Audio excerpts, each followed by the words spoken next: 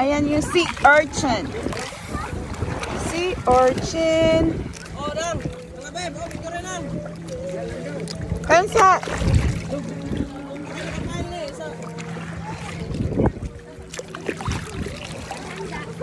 Ayan na siya.